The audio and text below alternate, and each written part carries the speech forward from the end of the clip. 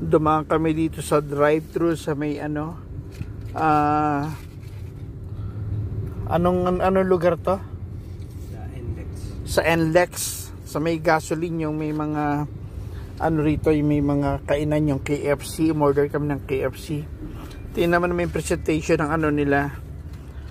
Napakapangit. Yung tinapay ang lamig.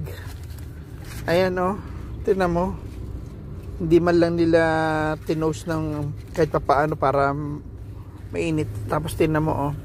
Ang ganda-ganda sa ano do sa sa picture. Pero pag nakiwa mo na actual ganyan no, hindi wala man lang gulay basta ganyan lang siya. Tapos magkano to?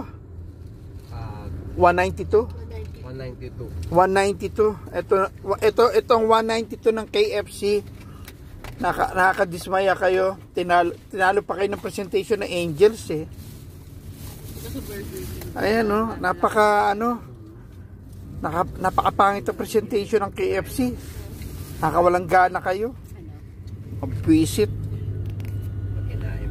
Ayan guys. Panoorin nyo yan. No? Tingnan nyo. Oh. Yan yung binili namin dito sa sa NLEX sa may gasoline station sa may ano highway. Nag-drive thru kami.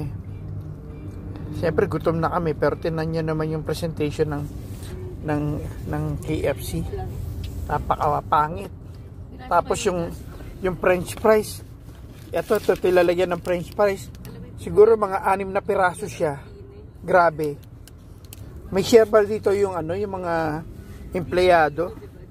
At ah, sobrang tinitipid nila yung paglalagay. Grabe kayo. Anim na piraso na ano, pieces na ano, na french fries. Na lahat nag parang gutay-gutay pa. Hindi ko na lang nakunan kasi kinain ko na gutom na ako eh. Sige na.